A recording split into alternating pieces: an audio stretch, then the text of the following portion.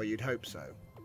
Well, it's And definitely one of those, you know, accomplishment accomplishment ships. That is not an easy task to make that ship in a game like this to a satisfactory to degree at all.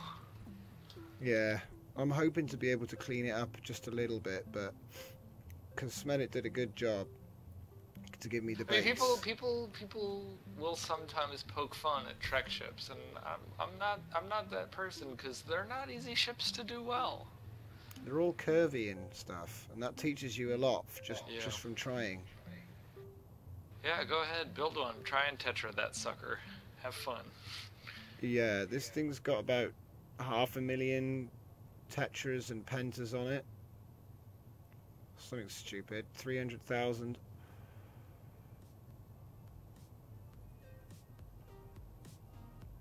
Looking perfect, man. Alright, I mean, I, I had this toy when I was a kid. I had the Enterprise toy as a kid, you know. and I can remember watching the final episode when it went out, you know. And I can just remember how awesome that scene was when uh, old Riker just comes in. I think he takes out like a Romulan warbird or something, and then beams everybody aboard as the ship blows up that was under attack. It's a total cowboy moment, you know. And then he warps out, and it's all really quick. The ship gets about three seconds of screen time.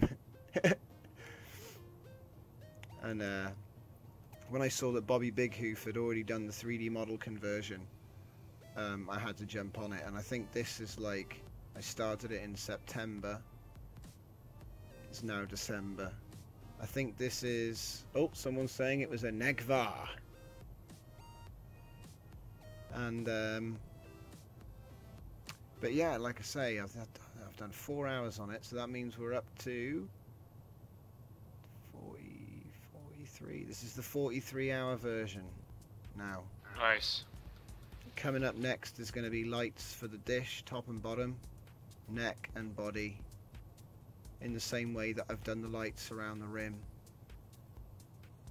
Because they worked out quite nicely in the end.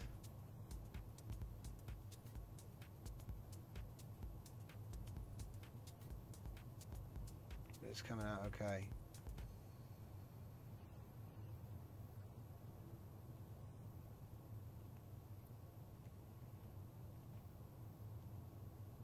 Right, let's try and dock this sucker.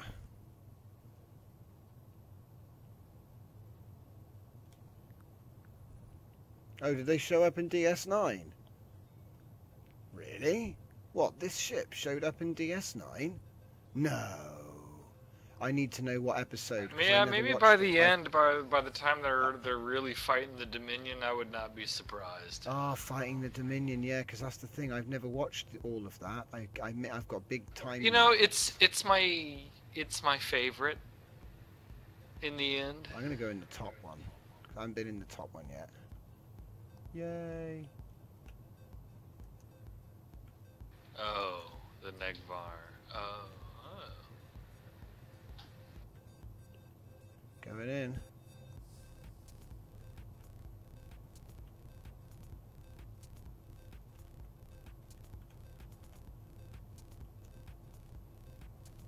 Docking laser. Yes.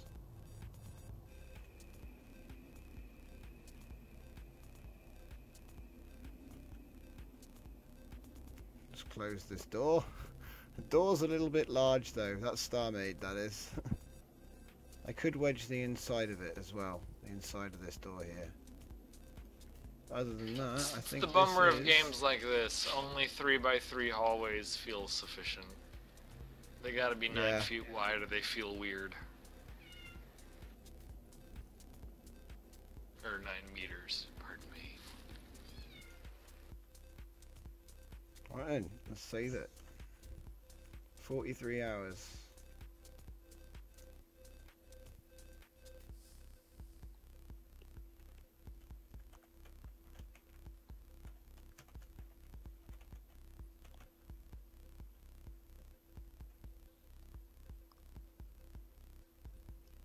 Oh, right. A screen full of galaxies. Oh, I see. Uh, station update. Uh, I have no idea about the station update, and I haven't got any news about the new dev build either. I think at the moment everyone's just sort of happy that Steam release went, and they're trying to get everyone's keys out. But yes, there are things being worked on, and I, I haven't got any involvement in it, so I will wait and be ready to tell you all about it when it comes. Because we're looking at some really cool improvements, but I have no idea when. Um, improvements that you're looking at all the time. Yeah. Which is going to help a lot. But until then, I can't talk about it. So yeah. I don't know when Ooh, that's going to happen. the, keep the your new eyes on stations the does dev sound builds. exciting.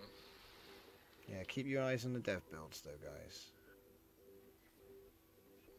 You can actually put custom stations in the correct folder at the, at the moment though. That does work.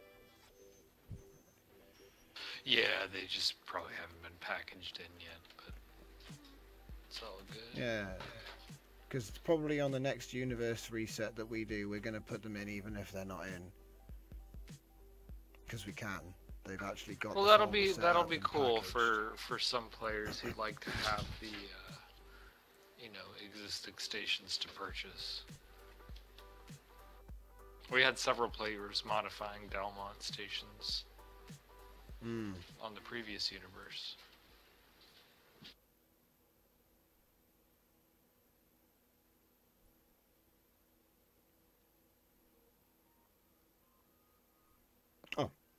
Eighty thousand white wedges.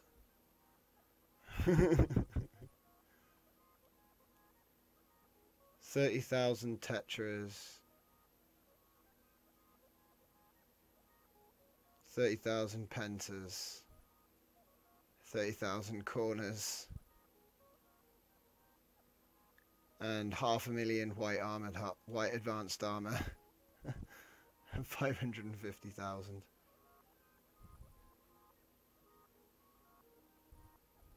Quarter of a million overdrive modules. Wow. See, the thing is, right, there's a mini game in downloading this blueprint off the forum. And, um. Like, imagine this is a mini game, guys. You download this off the forum, and then you survival build everything on it. You know?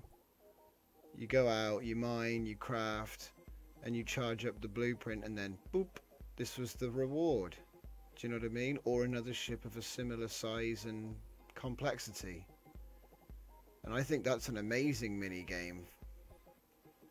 Because you can just pick a ship that you want, rather than having to know how to do it, and then have a survival crafting let's play, you know, just for that. I think it's amazing.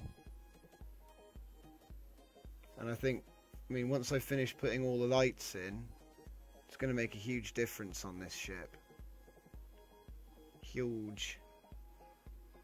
But I've learned from the newbie getting hold of my ship the other day, so I'm going to despawn it now. Oh, that was a beautiful skim.